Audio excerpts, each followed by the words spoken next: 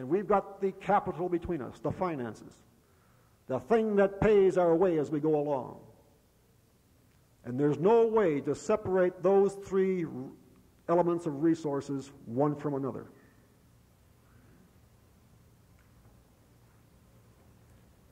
It's a matter of organizing those resources to focus in on the strategy of collective bargaining. And we've got it all. The first thing we've got to do is organize our people, starting with ourselves. Ourselves is the basic element of this organization. Each one of us is made up of an independent part of a gigantic industry of, of this country. And we are each part of the National Farmers Organization, free to think as we please, free to choose as we will, to form our own destiny within agriculture, within this organization.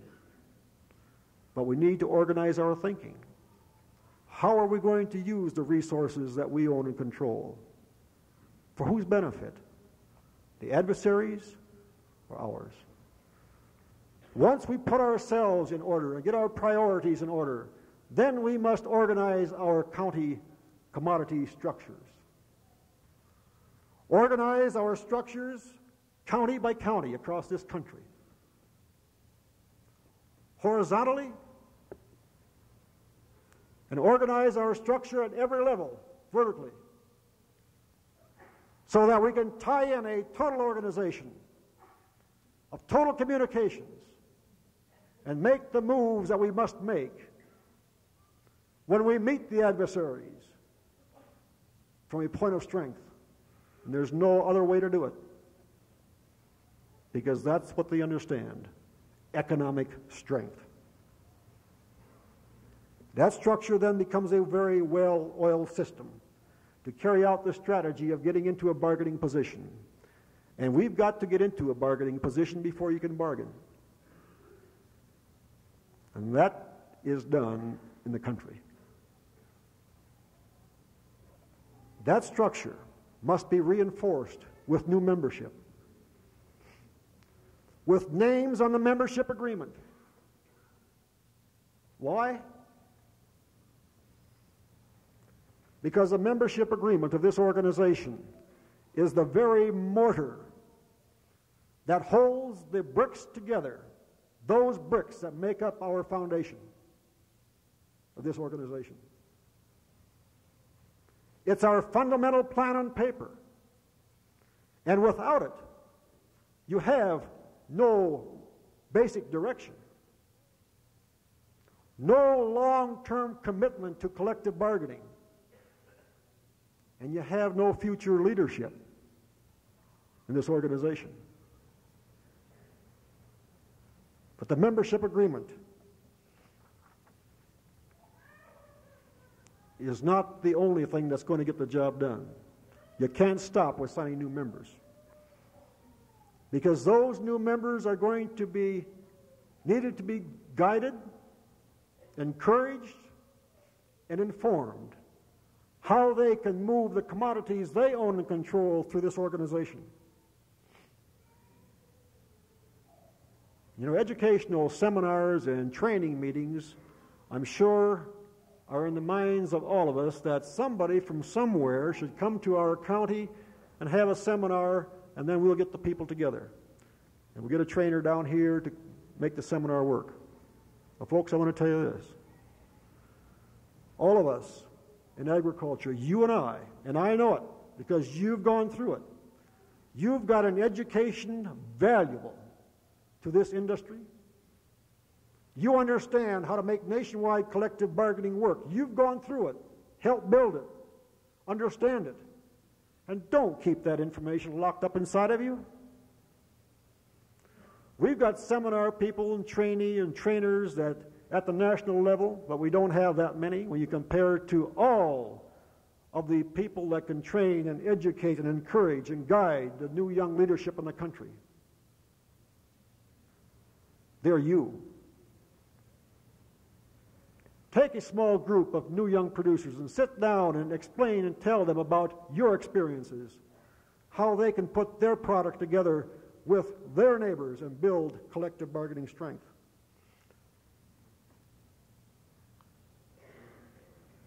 Folks, we have an organization of tremendous wealth and value because it's made up of people. People at every level, leadership, that have gone through the years of experience of building this organization. There is no reason why each and every one of us can't take that experience that we have and cause a tremendous groundswell of growth across this country this winter. If we only will. Depend upon yourself because you have the ability. And if you'll do that, all of ourselves together will cause it to happen.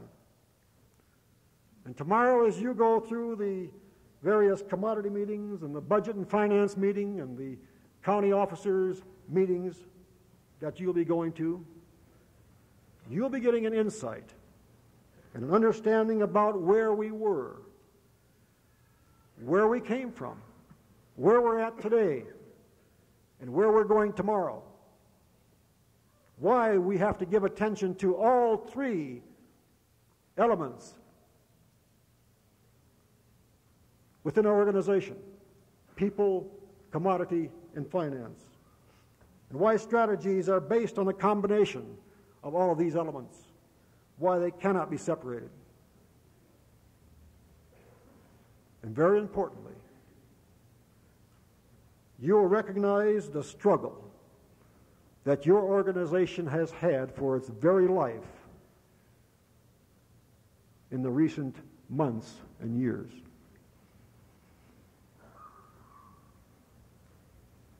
And you'll recognize our, your success in winning that struggle.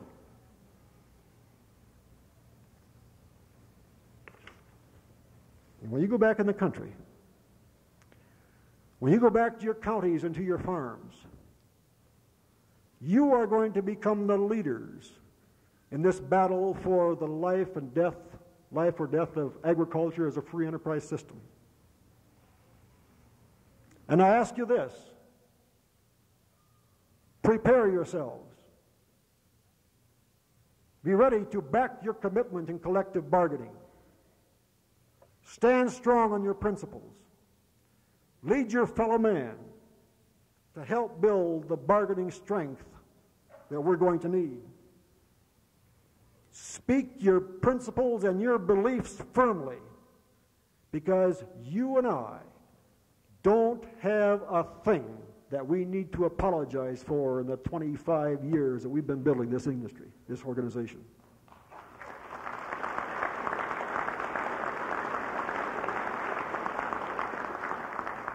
Every step we made had to be taken to get to the next step to where we are today.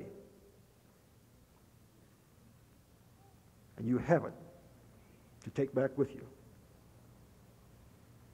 You can take great pride in the fact that you are the only organization that is alive and well today, prepared to take the offensive and deal with our adversaries head on. The National Farmers Organization is the vehicle. Our togetherness and team action is the throttle, and our successes will be the fuel in the weeks and months ahead. The destiny of agriculture hinges on the decisions that are going to be made here at this convention. God bless us.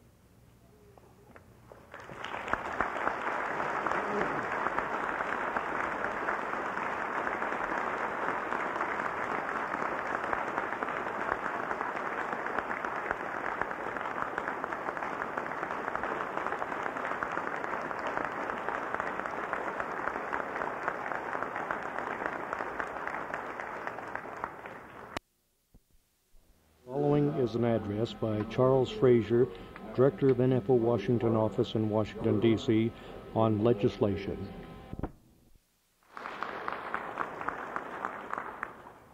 I won't spend time on the milk bill because it has been discussed and will be discussed more by Al Scott and your good people in the milk program sessions. Uh, it did take a lot of time back in Washington. It is a compromise. Parts of it we were proud of. Parts of it, as you know, we grew a little disgusted with, and we grew quite a bit older before we got through with that 18 months fight. There are many stories, and I'll be happy to discuss that a little more with you tomorrow in our session with state and district leaders on legislation and on political activities. We can go a little deeper in some of these things then if you wish to do so. Today, I'm only going to try to hit the highlights with you. You'll remember for two or three years we were worrying about a bargaining bill coming up. Some California politicians, especially, were pushing pretty hard from some quarters out there.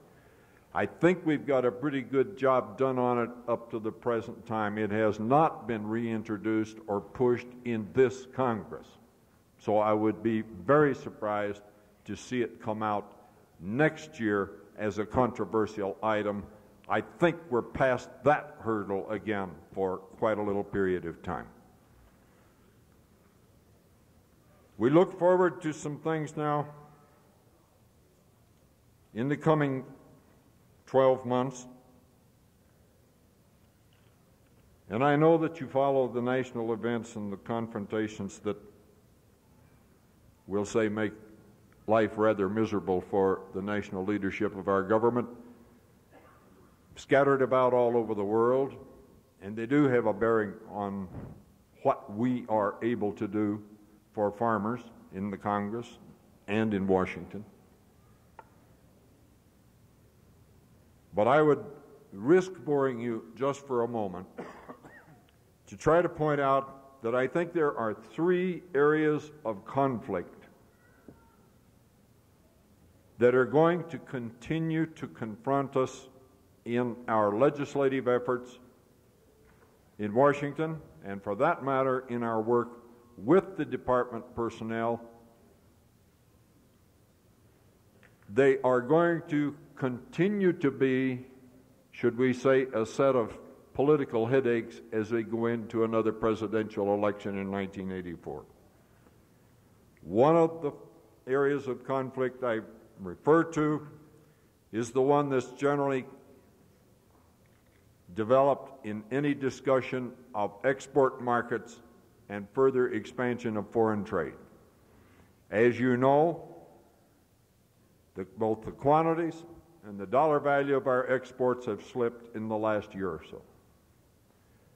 We do try to follow this with some interest, and only a few weeks ago, much to my surprise, after some letters had come to several of us in Washington, I got a call out of Brussels from one of the spokesmen of the EEC Community Agricultural Ministerial Council. They were coming to Washington to meet with the Chamber of Commerce and so on, but he was telephoning because they wanted to have a little separate session with the people that represent farmers in Washington. I felt complimented and pleased, and I did telephone some of our friends, and I did set up the meeting, and about a half a dozen of us representing Farmers Union, Grange, the other organizations, wheat growers, and so on, met with these men from the EEC. Those of you who have read and followed the foreign trade patterns are aware of the fact that they use the floating levies in Europe to buy our grain at one price while exacting the levies between our sales and their manufacturers and use that money to subsidize their farmers. They developed this policy many years ago Unlike the United States, where we generally have followed a cheap food policy and let the farmers be pushed off the land and sent into the cities since World War II, in Europe they've made the effort to hold their people back on the land. Now, the point of this little story These men from several of those countries sitting with us to visit for a couple of hours tell us in plain, understandable language their reserve of funds to make the payments to their producers is overextended. They're running short of money. Great Britain has insisted that they are not going to come up with further funds for their part of the burden unless they have some changes in the EEC agricultural policies, and those changes uh, so far have not been agreed upon at the head of state level in Europe. So it would appear that there will be, that there will have to be some change in the policies of the European countries that have been subsidizing exports in competition with our farm products going into the third world countries around the world. Now, I, I can't carry that one much farther for you, but I can tell you that it is alive. It is a real question right now. And if you want to follow it some through, through our best sources, our best journal, I think we will see some change of policy that may be beneficial to us in our export markets abroad over the next couple of years. There's a second area of confrontation, and this one I can only describe to you, and I know you'll recognize it. I can't make any promises on the outcome. But it is real, it is live, it is what we must work with every day back in Washington. The President has just recently strongly reiterated his absolute commitment that he will not accept any new legislation increasing taxes.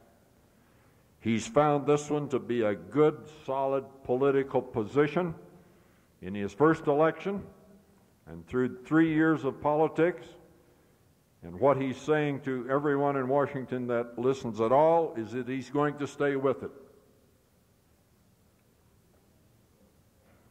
In contrast with that, there are responsible men in both parties in the Congress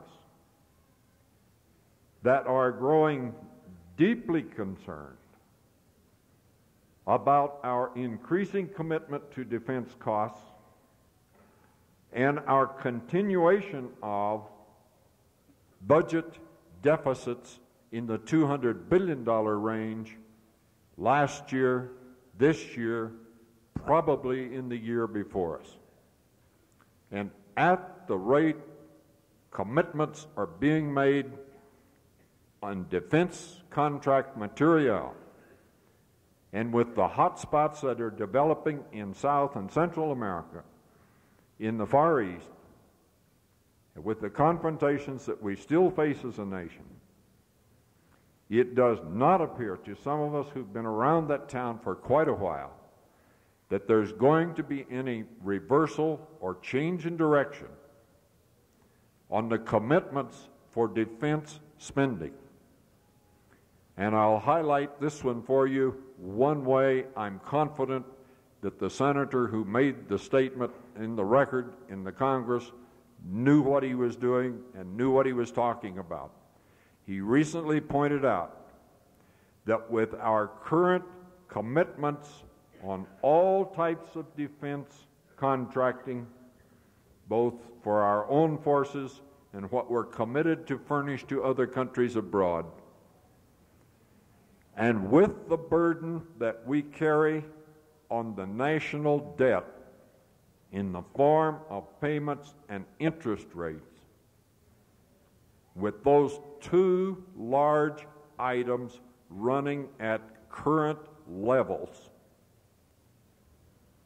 you could stop the rest of the federal government for 12 months and at our current level of tax income, you would still have a national federal deficit in the budget. My friends, I don't have the answer. I've been around long enough. I've, I learned a long time ago not to pretend to know all the answers to all the problems. But I can tell you that we're going to have to continue to take an interest as good, responsible citizens, and, and we all think that we fit in that category. We cannot continue to run a national government $200 billion in the red year after year, accumulating more debts, and still wonder where we're going to come out in this country. We all know there will have to be a change in direction of some sort in the management of that federal government. You just can't go on like this forever.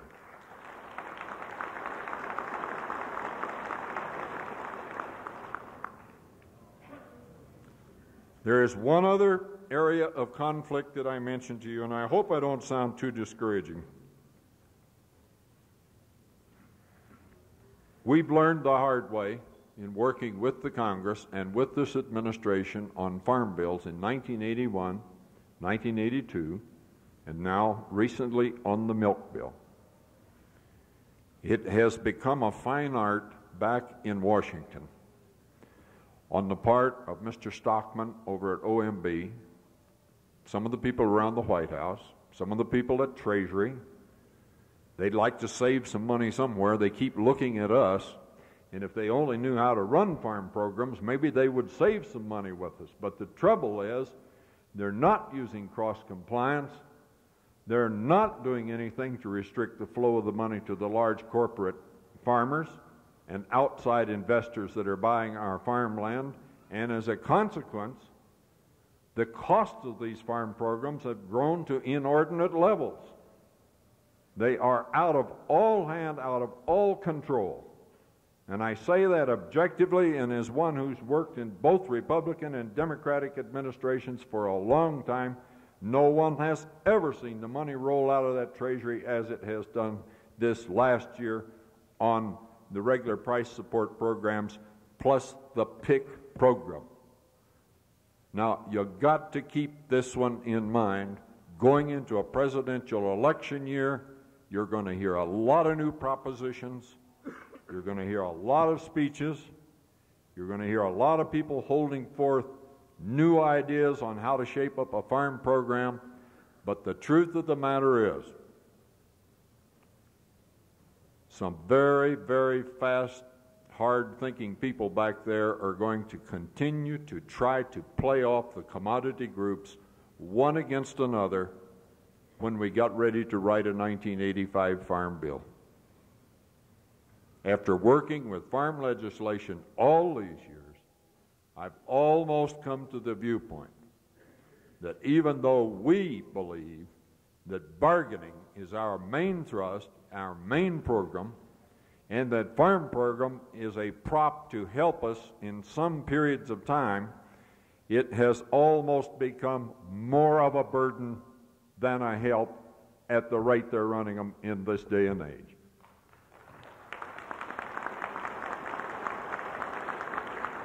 I encourage you to think seriously over the next 12 months as to what our position really will be in the spring of 1985 when it will be time to write another major farm bill.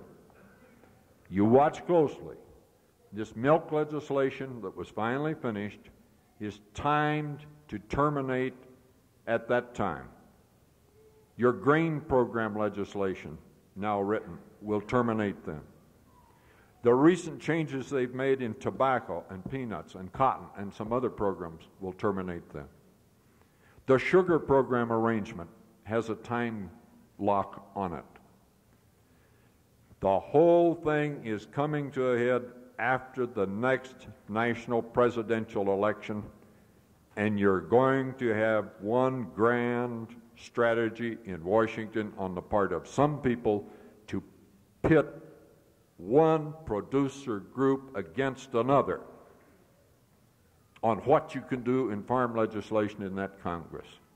That conflict will be with us for the next 18 months. I'm not proud to stand up here and tell you about it, but I'll guarantee you, you better look forward to it and do as well as you can to deal with it. Now, to close on a little higher note, let me try it this way. Devon mentioned the National Farm Coalition, in which we are active back in town. We do have some good friends in other organizations. I have a man from Farmers Union coming in here to work with me tomorrow in one of our panels with the state and district leader groups that I mentioned a moment ago. We have good friends in some other organizations, and we are trying hard to work together, and we're proud of what you're doing out here in some of the states where you've got stronger efforts going to tie together several organizations that can agree on some goals and strive for some of the same accomplishments. We're going to need more unity. We're going to need bargaining. And this organization today is probably in the strongest position to move forward to help protect prices and farm income of any time since I've known anything about the outfit when it was formed over 25 years ago. I'm happy to be with you.